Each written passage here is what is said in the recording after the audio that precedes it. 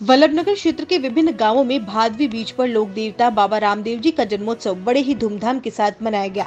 इस अवसर पर गाँव में विभिन्न धार्मिक कार्यक्रमों का आयोजन किया गया। भादवी बीच पर नवानिया में मेघवाल समाज नवयुवक मंडल द्वारा गाजीबाजी के साथ लोक देवता बाबा रामदेव जी महाराज की भव्य शोभा यात्रा निकाली गई।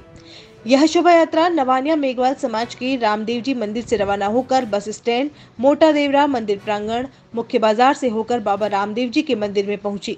इस शोभा यात्रा के दौरान जगह जगह पर समाज के महिला, पुरुषों, युवाओं और बच्चों ने डीजे साउंड की धुन पर नाचने, गाने का आनंद लिया।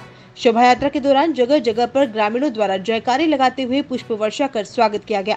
शोभा यात्रा के समापन पर बाबा रामदेव जी की विधिवत पूजा अर्चना एवं आरती की गई और नेजा चढ़ाई गई। इसके बाद श्रद्धालुओं में प्रसाद वितरण किया गया। इधर क्षेत्र में प्रसिद्ध रामदेवरा, खोरा मंगरा में भी विभिन्न कार्यक्रमों का आयोजन किया गया। रामदेव जी बीच के अवसर पर भेरू महाराज के दर्शन करने के लिए भक्तों का तांता लगा रहा।